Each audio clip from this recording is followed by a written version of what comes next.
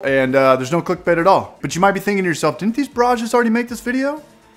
And the answer is yes. That, but that was four years ago when we first started this channel. To sum that video up, we used an old homebrew trick. That was Maury's trick. Crank up your PSI to 30, shake your corny keg for 300 seconds, or just set a timer for five minutes you don't have to count to 300. Purge the tank, set it back to 12 PSI, and you're drinking in about 20 to 30 minutes. I think it worked out for the majority of the people, but we do get like a comment every now and then somebody will say that uh, their beer is overcarbonated for whatever reason. Maybe they shook it too long, they didn't turn the regular back down from 30 to 12, or they didn't bleed it off. I don't know. But I was at my local watering hole the other night and I ran into this barrage. A fellow homebrewer and in which we exchanged forced carbonation tips. He was talking about one in which you did not have to shake. He told me he got this ball lock contraption for $25 on Amazon. I immediately went home, Amazoned it, looked it up, and I bought it and it actually came the next day. It's just this little corny keg lid that's got a couple extra things to it.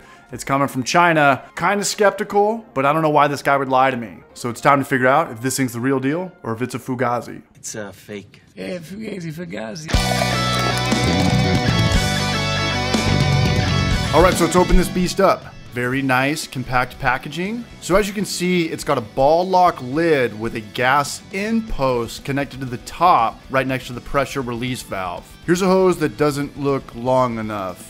No, uh, okay, we're good. It's long enough. Let me know in the comments section if I need to buy new shoes. Here's the key to the city right here. Keep in mind this tutorial covers everything outside of just beer, including water, mead, sangria, cider, or anything else your little heart desires. And then two hose clamps. For $25, this seems like one heck of a product so far, but we still gotta see if it works. I recommend using gloves when dealing with diffusion stones since the oils from your hands can clog these micro holes. Gloves will preserve the shelf life of these products. I'm gonna set this up all over my Star San mixture. Setup's as easy as you can imagine. Just use the hose to connect the lid to the diffusion stone and then fasten with the hose clamps. Then we're gonna submerge it in Star San. Now I'm gonna connect it to my uncarbonated hazy IPA by just dropping it in the keg and fastening the lid, business as usual. Here's what it looks like. It's about another half inch in height, but it's all good since it still fits in my kegerator. I brought it back out because I forgot to check it for leaks. It's good to go.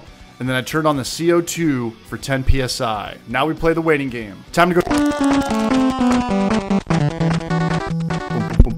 Today we're getting drunk. Today we're getting drunk off love. It's absolutely perfect. It's perfect. I was actually drinking it at the intro to this whole video. And I was only gone for about four or five, maybe six hours. We played 18 holes, had a beer at the end at the Tap In Tavern, and this is delicious. And it's a perfectly carbonated beer. Every sip, you just fall in love with it all over again. You're not drinking in 20 minutes, but you're also not waiting a day or a week to let it fully carb. But you also have peace of mind that you're not gonna overcarb it. And uh, I highly vouch for this product, and I'm finally stoked because we had to scrap last week's YouTube video, and we try not to scrap videos, but sometimes we just have to, and you would know about this if you were subscribed to the Hoppy Hour, which is a live stream every Wednesday night.